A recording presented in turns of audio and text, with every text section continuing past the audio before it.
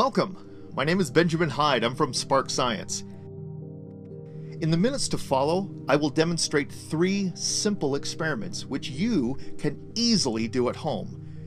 But they will open the doors to insight and knowledge that we do indeed live in an electric universe.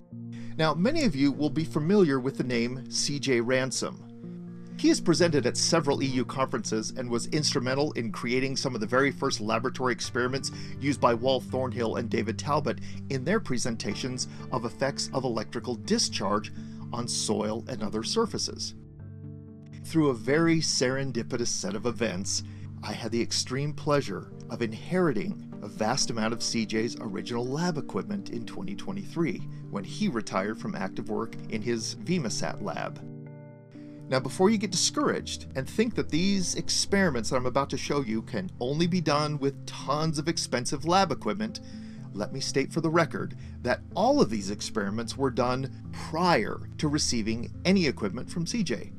When his equipment arrived, it was just icing on a long ago made cake. In fact, the only serious piece of equipment you even need is simply this. It's a neon sign transformer. Now, if this sounds foreign to you, it may be that you're not old enough to know what a neon sign even is. It is what LED signs replaced a few decades ago. They're pieces of equipment that are now antiquated and more than likely gathering dust in a dark corner of your local sign or billboard shop. In fact, aside from inheriting a few of these transformers from CJ, a billboard shop is exactly where I picked up all of my transformers. All I had to do was ask. They were free. Experiment 1 Lichtenberg Patterns. The material you'll need for this is one neon sign transformer. This is a high voltage, low amperage device. It's about 10 kilovolts AC. It doesn't have to be 10, it could be in a range from like 9 to 12. It'll be around 0.08 amps. Mine are usually about 0.06 amps. You'll need a scrap piece of wood, like a 2x4 or something. Make sure it's about 8 inches or 20 centimeters long. You'll need two nails or screws about 1 inch long. You're going to start by hammering in or screwing in a nail or screw at opposing ends of your wood, but only just far enough so that they grip the wood. There's no need to drive them flush. Grab a pinch of salt and add it to a small glass of water. With this water, wet the surface of the wood between the two screws or nails. You can use your hand, you can use a cloth, you can use a paintbrush, doesn't matter. You can even pour it on there. Now attach a small length of insulated wire to each lead of the transformer and attach the other end of each wire to each nail or screw. Do not make contact with the wood, the screws, or the wires, and then turn on or plug in the transformer. Why? Because uh, you don't want a good shock. The AC current from the transformer will begin to arc and burn its way across the surface of the wood. Now here's where it gets cool. Note how the path burning its way toward each other varies and branches. This is a Lichtenberg pattern. Let's go back a little bit. George Christoph Lichtenberg was a German physicist who lived in the middle of the 18th century and was credited with the discovery of this tree like, fractal, branching nature of discharging electricity. The fractal nature of electricity will be a recurring theme here and is one of the pillars of the argument that the universe is indeed electric. When allowed full freedom, electricity will follow multiple paths of lower resistance and not just one like water does. Now this same pattern we just created in the wood can be seen everywhere across nature. Here's just a few of them. Please remember that when it comes to Lichtenberg shaped river valleys, water does indeed flow and carve the valleys, but it is our contention that the genesis of them were electrical discharges, the thunderbolts of the gods, and that the water came late to this party. Question How many of you picked up on the fact that the Bighorn, Wind River, and Uinta ranges you just saw are not river valleys, but mountain ranges? Do Lichtenberg patterns do more than just a road? They may indeed. This next experiment flirts with this idea. Experiment number two, double lobes. Now we will again be using our transformer. This time, with the transformer off, suspend one lead 1 inch or 2.5 centimeters or so above a mound of baking soda. Yep, that same stuff you use to bake all kinds of delicious pastries. It also burns a beautiful orange color if you throw it on a candle flame, but uh, that's for another show. The baking soda should be in a bowl, or to be more scientific, a non conductive plastic flat bottomed container. Now attach the other lead of the transformer to a small metal plate, or just some tinfoil, which is underneath the aforementioned container. Stand back and power on the transformer. If an arc is struck, power off the transformer and raise the top lead a centimeter or so. And repeat this process until no arc is struck when the transformer is powered on. So, what's going on here? Electricity, AC in this case, jumps off the sharp ends of powered objects, the ends of your wire, which incidentally is why lightning rods are pointy, and St. Elmo's fire was seen on ship masts. These are all pointy objects. This is called a corona discharge, which is fascinating in itself as it doesn't produce much heat.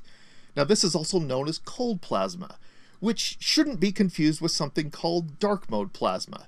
In fact, a cold plasma refers to a plasma where the electrons are significantly hotter than the ions, meaning that the overall temperature of the plasma is relatively low, even though the electrons have high energy.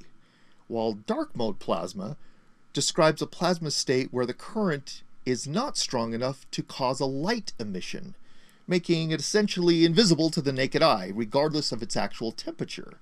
Now, essentially, a low luminosity plasma state within a larger plasma system. That's pretty cool. Back to our experiment. If the powered lead has multiple sharp points or corners, like if you use a flathead screwdriver attached to your lead, the electricity will jump from all sharp points. And this creates two mobile electric fields, which in the presence of baking soda will throw out or erode the soda in two fairly distinct lobe shapes separated by a chevron.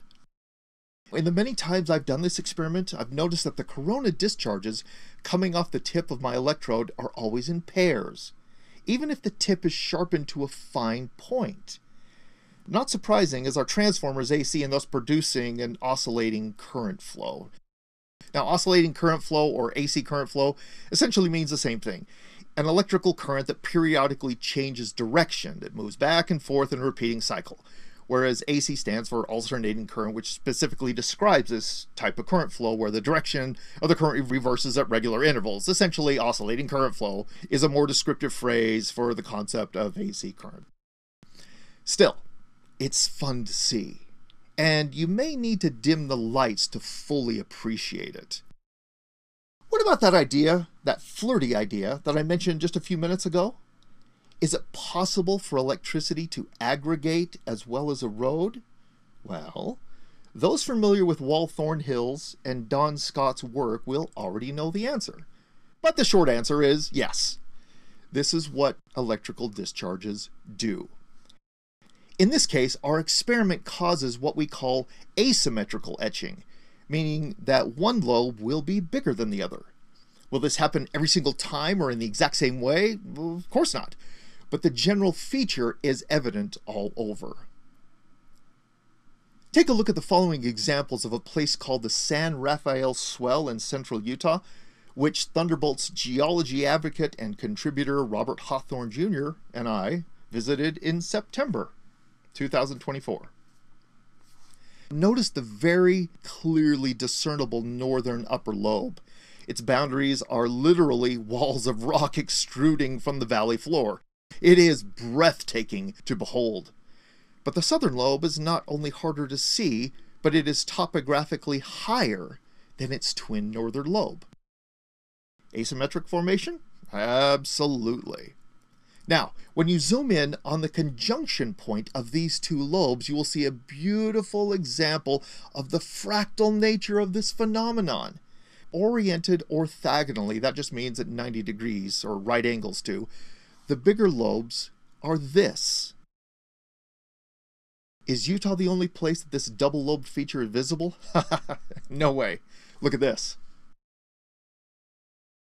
Are there more? Yeah. Google Earth is a great resource for finding more of these. In fact, the first one that I ever found was in Russia. It is very difficult to see, but that's what first turned me on to the idea that there are double lobed geographic formations. Now, when you find them, be sure to share them on your favorite social media platform. We want to see them. We live in an electrical universe, and this phenomenon is everywhere, not just on Earth. My desktop on my computer at home has this wonderful montage put together and shared by the Planetary Society. Check this out.